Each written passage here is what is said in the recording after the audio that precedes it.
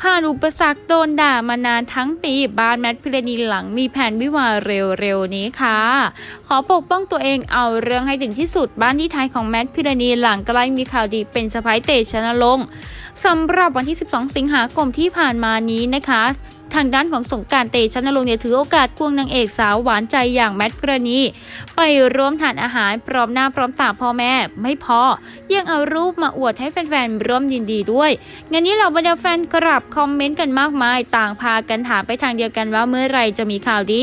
ล่าสุดสงการออกมาเคลื่อนไหวแล้ว หลังจากที่แฟนๆแห่แซวและถามถึงข่าวดี สงการได้ออกมาพบรูปของเขากับสาวแมทระหว่างที่ลงมือทำกิจกรรมตกแต่งบ้านด้วยกัน 2 คน ซึ่งบ้านลายล้อมไปด้วยบรรยากาศอันแสนดีงาม พร้อมใส่แคปชั่นว่า วันอาทิตย์ของเราสองคน งานนี้ทำเอาแฟนๆต่างพากันชง และแอบตามสืบกันยกใหญ่ว่บ้านหลังนี้ใช่เรือนหอของทั้งคู่หรือไม่ งานนี้จะเป็นยังไงก็คงต้องรอติดตามกันค่ะ